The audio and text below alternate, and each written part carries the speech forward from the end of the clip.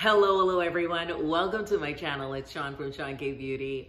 I am super excited to be here. You guys, I just did a Sephora haul, so definitely check out that video. I'll leave the link down below. So without further ado, let's get into this video while I try out these new products that I just got from Sephora. So first off, I wanna start by using the uh, primer from Gucci. I really love this primer. Um, I like to press product in other than rubbing it in. And I think you guys would like um, to do that too. Let's start with brows. I'm just gonna, you know, get my brows groomed here. And I'm using my dual-sided brush from Chanel. This is one of my favorites. I'm gonna give you guys the number and I'll also leave it down below. This is the dual-ended brow in N207, very sleek, easy to travel. It also has a brush on the next side. Going into brows, we are gonna go in with the number five black brown from Benefit. I definitely am excited to try this. Very sleek. I do remember this. And on one side is a mechanical pencil, and this also has a brush on that next side as well. Just, just a mechanical pencil that you just screw up. All right, so that is it swatched. So not too black, not too brown, and I think it's like a perfect match. Now you've got to be careful with these mechanical pencils because sometimes if you have it out too much, it would literally break on you. So I'm just gonna faintly contour out the bottom of my brows.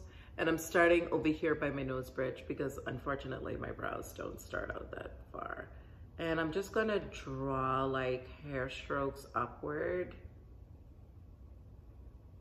And this is working beautifully, you guys. So if you're looking for a brow product, this is really nice actually. I'm gonna try the Anastasia Beverly Hills Brow Pot.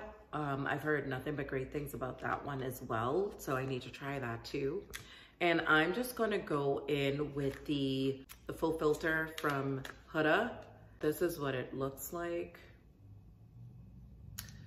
Can't wait to use this. I'm gonna swatch it for you all too so you can see it close up. That's what that looks like. It's a beautiful yellow color. Um, I'm just to use this under my brows. It's interesting, this applicator, um, I'm assuming it is more ergonomic for getting like underneath the eye area. I'm gonna get underneath the brows. I'm using my Scott Barnes number 60 brush to do that.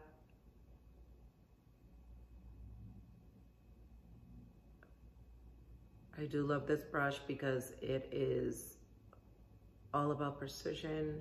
All right, we're gonna go into the Gucci foundation. I'm just gonna shake this up a little bit. Just make sure all the ingredients is evenly. Oh, you guys, do you see how watery this is? Okay, so this is much different from my 380 Huh. Uh, it matches me beautifully. Taking it down the neck. We'll just roll with it for the sake of this video. It's so low in viscosity that it's pretty much water coming out of a bottle. I'm gonna try a little bit more of this. It's not as brightening as I as I thought, so I don't know if there's a a color up from this. It's easy to blend. It doesn't dry down fast, which is really good because sometimes when concealers dry down super duper fast, it can be more of a nuisance to you with blending it out. And of course, when that happens, you just use your setting spray. Okay, I talked about this in my other video. I do have on the Tatcha Kissu Lip Mask right now. You guys, I'm in love with this. I am in love with this product.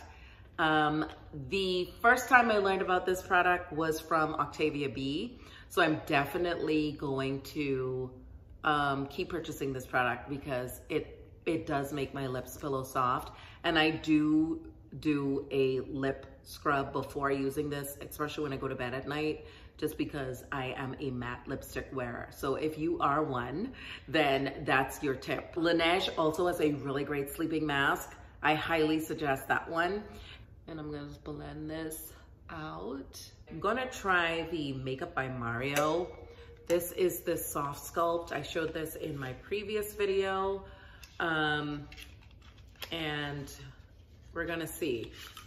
We're gonna see. It's beautiful packaging and it has the brush on one side, which is interesting. I don't know if you guys can see, it has like these little um, protrusions coming out at the top. And I know Mario said that you can separate it to clean it and also to use it, but um, I'm not gonna use this brush. Okay, so this is what it looks like. I'm using my Scott Barnes number 61 brush. And we're just gonna, this one I really love because it's great for contouring, especially down the nose. I've showed this brush a ton. Okay, what I love about this is that it is soft and it's less aggressive in color than the contour sticks that I have. It's beautiful. It blends like a dream. It like melts into the skin. Okay. What was I expecting though? It's Mario. Was I expecting anything different? Not really. Right into the sockets of my jawline. And like Mario says, you wanna keep this away from um, you know, getting onto the smile lines. Okay, so a little bit of this goes a long way. I have not done like contouring in such a long time, but it does work, especially during the holidays when you've eaten a lot of food and you need to snatch things in. It works.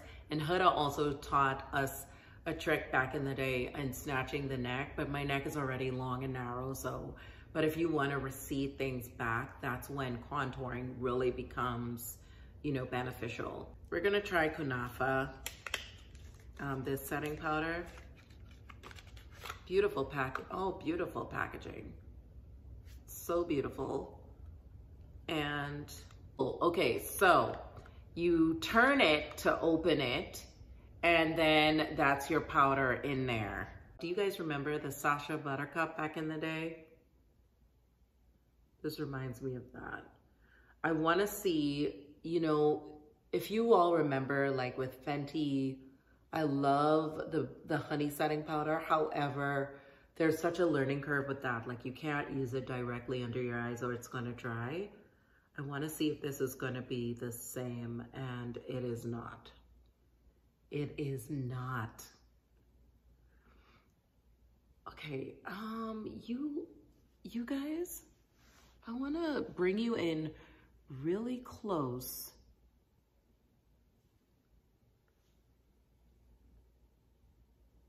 Let me try a little bit more. I just want to set further down here, like around my mouth area, right in here. Okay, that Gucci foundation is super duper oily. Um, I'm not enjoying it as much as I enjoyed my 380N. Just sitting back so you all can really see this. It's so beautiful. It's not leaving any cracking under my eyes. I'm super excited to try this Modern Renaissance palette. I'm to use my Scott Barnes number 62 brush. This is like an oldie but a goodie.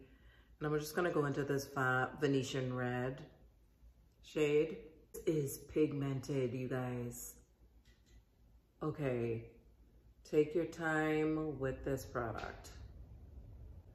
And I'm just going right into my transition area, really concentrating right there. Not taking it too high into that brow bone. Okay, friends, I'm gonna use the Anastasia brush that came with this. this flat side just to get on my lids with this beautiful color called Love Letter. Oh, oh, hello. Hi. How are ya? You guys, this is gorgeous. Oh, it reminds me of a beautiful, let's try it with, let's try it with my fingers too. I just wanna see if I'm missing out. Yes, I am. It's beautiful with a brush, but with your fingers, you get, of course, more pigment. I'm gonna go into my Stilazzi Large Shadow Fluffing Brush, Fluff Brush. Uh, this one is the L212, and I'm gonna try that Cyprus Umber shade, which is this dark brown chocolatey shade. This would be great mixed with that Love Letter right next door if you just wanna do two colors just all over the eye. But I'm gonna take this right into the outskirts of my eye just to deepen it. Uh, just gonna go in this outer V, not taking it all the way. And I'm just gonna clean this up with concealer at the end. This is the Anastasia brush. I'm just using this fluffy side and I'm just gonna buff out this brown shade just a little bit. Just to make it less harsh, you know? Okay, going in with the color Tempera, Tempera. I wanna take this in the inner corner. So it's this color here, just to see.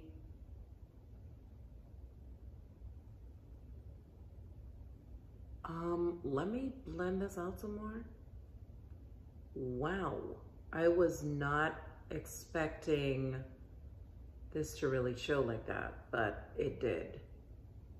Okay, so I am shocked by this palette. And this is a really good purchase. Okay, I'm gonna do the same thing on the next side and I'll be right back. So let's try Auntie Pat's Night Bloom. Let's try the Night Bloom.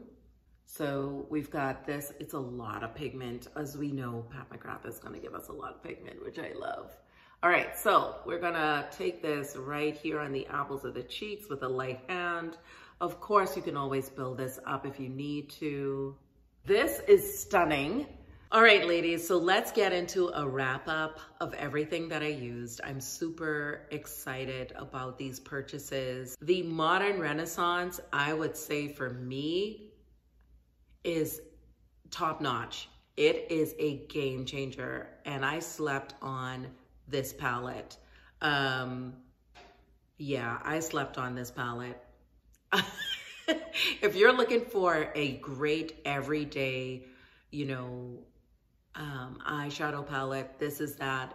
The colors are pigmented. Colors that you don't think would show up on you, showed up on you. You guys saw that I used that white shade and that showed up on me beautifully. I can't really see the name of it, but it worked lovely in my inner corner. It does not translate over muddy, especially when you start using really pigmented colors and you start blending. This is gonna go where you place it. It blends out like a dream and the colors don't get muddy. The Divine Blush Duo you know, Pat McGrath never, we, we all know Pat McGrath will never lead us wrong. She gives us pigment. She gives us packaging. She gives us a luxury experience. And that's what I can say about this blush. This did not disappoint me. Um, this was the only one left in Sephora, you all. So I was super excited when the essay went into that bottom drawer and she was like, oh my gosh, I only found one. I'm like, give it to me, it's mine. so yes, Pat McGrath is always pushing the envelope and really improving upon herself. And just when you think it can't get any better, she surprises us and gives us something even that much more great. So Yes, I'm in love with this. The next product that I'm in love with is Makeup by Mario. Yes, I love this because I don't have to warm this up on the back of my hands before using it. I can go directly onto the stick and I can use this. You all, I was not expecting to really love this product. I was, I didn't know what I was expecting from this product, but as you all saw, like it blended like a dream. It matched me beautifully. It went off soft. It was not aggressive. It was just a beautiful, just like he called it, a soft sculpt. It is a product that you don't think you're going to need until you use it. Love You Makeup by Mario. I've been following him for a while. Um, Huda Beauty, another beautiful soul that I've been following for a while. This Faux Filter concealer. You guys, this is a game changer. One that really gives you an airbrush look underneath the eyes, does not settle into creases in your eye um, gives you that wiggle room to go and drink coffee or get any, you know, and still be able to blend out beautifully.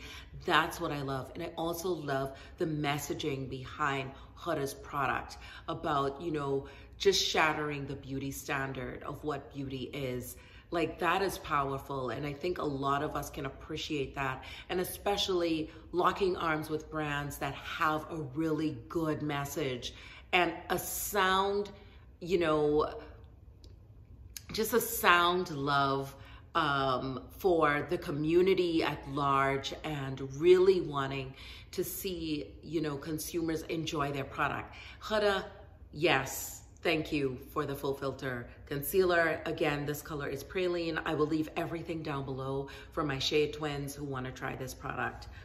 All right, this other product is the Huda Beauty Setting Powder. I'm going after the large one. Yes, I'm glad I bought the mini, but I want the large one now. This is Kunafa. It does not crack underneath the eyes. It's not drying. It has some hydrating properties to it. I really love this. And I'm, I, I really appreciate um, the packaging as well. And for someone who travels, this is going to be one that I highly suggest because it's not going to leave powder all around in your bag or in your makeup bag because what happens is with this is that you take the top and you have to screw that on and it locks in place. So that's preventing the powder from, you know, spilling over into your toiletry bags and all of that. So yes, I love this. Of course, the oldie but goodie benefit, the Precisely My Brow. If you're looking for a really great brow product, um, I have some really great brow products, so I'm not knocking those, but this is a really good product. I slept on this one. I really did. I love the precision of this. I love that it's a mechanical pencil. I love that it, you know, it has a creamy consistency, but enough tug so that it doesn't break easily.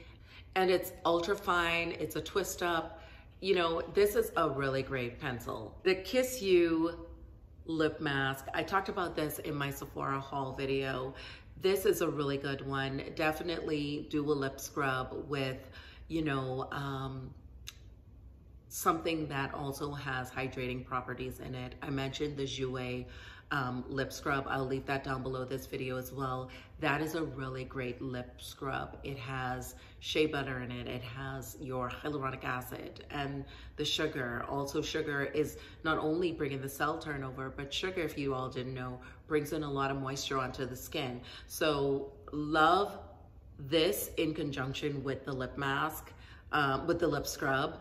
I hope that Tatcha would be thinking about coming out with a lip scrub. And I love to do this at night and sleep in it. And I also love to wear it during the day when I'm running errands like I did today. You clean this, you dip into it, you put it on your lips. A little bit of this goes a long way. You can be confident with this product.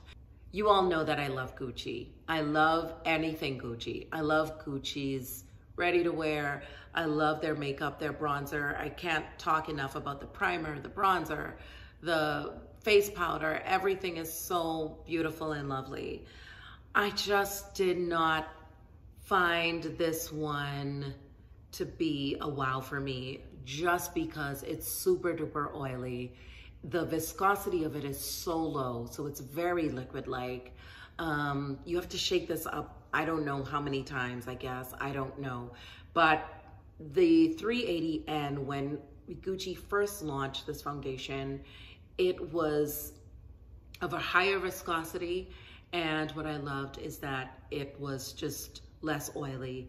Um, this one is just super duper oily and uh, this is a no for me on honestly. And that is it, beautiful people. Leave your comments down below what you'd like me to review next or, you know, which one of these products you found to be your favorite. Um, leave that down below. I'm really curious. Like, subscribe, and share, and I will see you in my next one. Ciao for now.